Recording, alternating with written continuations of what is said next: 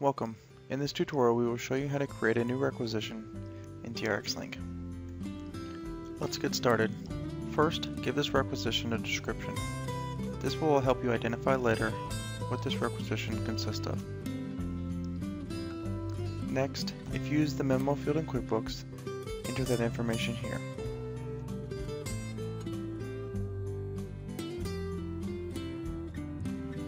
Now we may select a vendor from our QuickBooks. Next, if this requisition requires a customer or job, you may select one here. This information also comes from your QuickBooks. If you use class tracking in QuickBooks, you may select one here. Now we can add an item from our QuickBooks. Select the item lookup, insert the item quantity, and submit.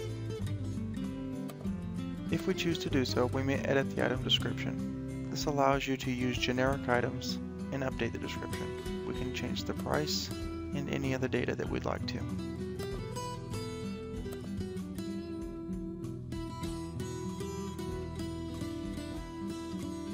Next we'll add some comments. This gives us an open line of communication with everybody that's involved with this requisition.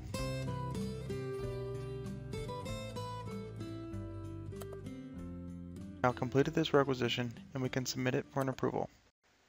Join us in our next video as we approve this requisition.